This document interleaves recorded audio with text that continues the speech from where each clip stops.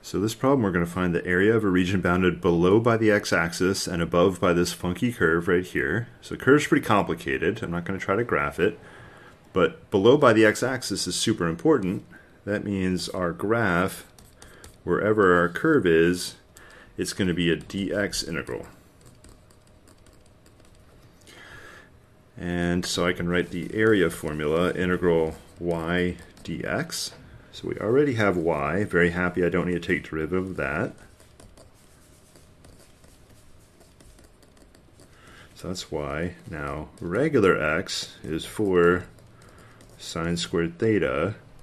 dx is going to be x prime times dt. So what is x prime?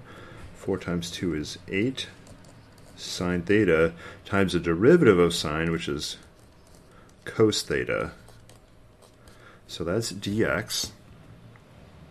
And we have our theta values go from 0 to pi over 2. That was also given right there. So we're ready to write the area, 0, pi over 2, y, 3, sine squared theta, tan theta. So that's all y. Now what is dx is 8 sine theta cos theta Oop, and I left out, I wrote dt, but I meant d theta. All right. How in the world do we integrate this craziness? Remember, tangent is sine over cosine.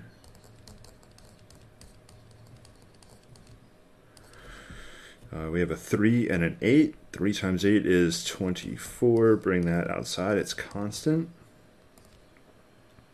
So I still have my sine squared. Brought the 8 and 3 out. And I have another sine cos. Unfortunately, my cosines cancel. I say unfortunately because I was hoping for an easy u sub. And I have sine to the fourth. Alright, this unfortunately is worst case scenario you're going to have to apply the half angle formula twice. And the way you're going to do that, so we can reduce a sine squared to a sine to the first power. So you use your half angle formula just on the inside, and then once you have that, you're going to FOIL it out, and on one of the terms that's squared, you're going to have to use your half angle again.